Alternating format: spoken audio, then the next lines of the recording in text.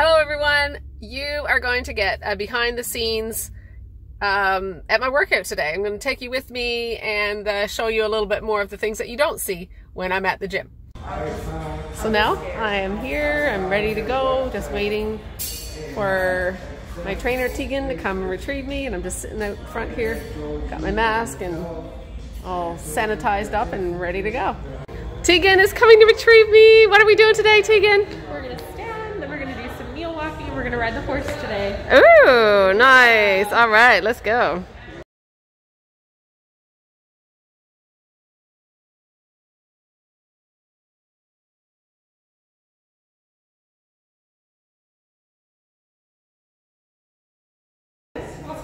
All right, so here I am back at physio at Ryu after two weeks of being away. I was here on Tuesday was the first day I was back after two weeks, and um, so we were talking about resting, right? And resting when your body needs to rest. And Kia was the one who uh, was helping me out when I came back, and so I just wanted you to talk to that and just like the strength and what I did in that uh, day last week. All right, so we started out a little bit heavier just to see where Vahen was at. Um, we went on our total gym, so we did some leg presses, and her strength was still there.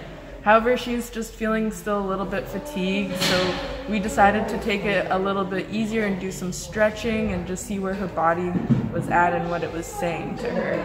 So we worked on that stuff as well as working on our pelvic tilts, and her pelvic tilts were actually getting stronger, which was awesome to see. She was able to balance even on the wobble board and keep her pelvic tilt and sit nice and tall. And that was an improvement from like before the two weeks, right? Yes. So yes. I guess the takeaway from that is like, um, you know, when your body needs to rest, it's resting and it's for a reason, right? And so it was really encouraging for me to come back and see that I still had maintained and, and even got that increased strength a little bit. So that's really cool. And now today I'm working with Tegan.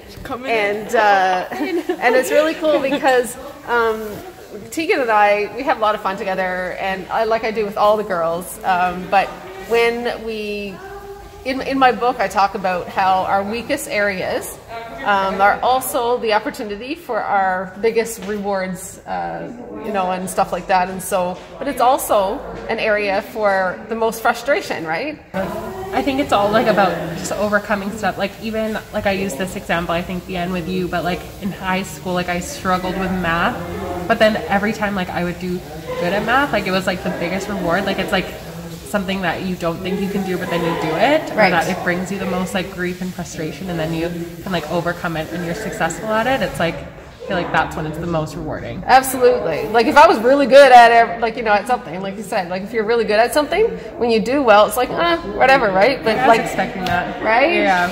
And so me, you know, even though it's my biggest challenge with my physical health, when you do something really well and you have these little successes or whatever, you actually really celebrate them a lot more. And so takeaway is yes, we all have weaknesses, but embrace them, work through them because they will be the most rewarding for you. Yeah. And uh, love these guys. Worth it. Yes, it is worth it. Come on, uh, Kia.